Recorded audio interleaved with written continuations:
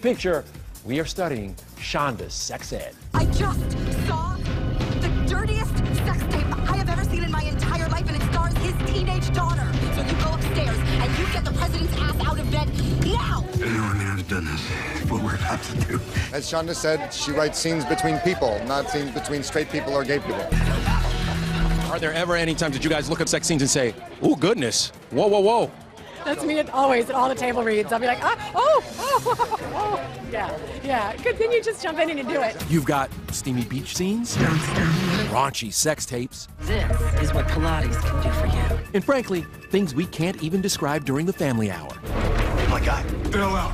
Last week's scandal even had people scratching their heads after hearing this strange phrase. All right, boys, let's go to Paris. And he did this thing that made my eyes water. Pop culture is entertainment, but at the end of the day, it can also be educational. Shonda is doing a public service by putting this content on television because it's creating a dialogue and a discussion, and people are invested in finding out more. BuzzFeed's Jared Weiselman explains that TGIT is changing the way we see sex on network TV. Why? Because Shonda Rhimes insists on treating gay sex no differently than straight sex. She's depicting sex in a very organic way. What we're seeing with Shonda's shows is simply a representation of what sex is really like. And it's sad, but that's what's actually groundbreaking about it. Her desire to normalize homosexuality is something that should have happened long ago, and it's just something she feels very strongly about. How'd you get this?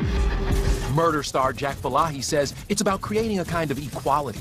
Pete Nowalk, the writer, has done a really excellent job of creating something that is it's true, and you know, it, it- people have sex with people of the same sex. I mean, that happens, and for it to be sold so plainly uh, was really refreshing.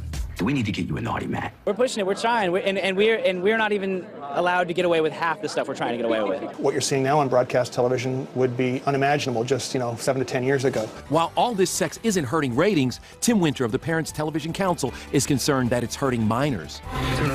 When you trivialize and normalize certain conduct on primetime broadcast television, it has consequences across, uh, across real life. When you look at the scientific research, um, the amount of sexual content that a teen consumes actually predicts teen pregnancy. The concerning thing for me is that all of this is rated by the network as appropriate for age 14, and as a parent of a 17 year old, that's simply wrong.